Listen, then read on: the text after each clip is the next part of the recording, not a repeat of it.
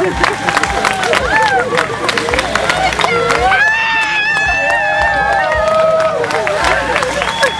incredible crowd here at the finish line for the Old Agoura 10K, Chesebro half, all part of the dual great races. You missed a big event, buddy. You just missed a big event. You got a proposal out here, and she said yes. We just had a proposal, I'm assuming that's a marriage proposal, at the finish line of the Great Race of Agoura Hills. From the looks of it, she said yes. She's either incredibly out of breath from the race, or he just took her breath away. I'm guessing it's a little bit of both.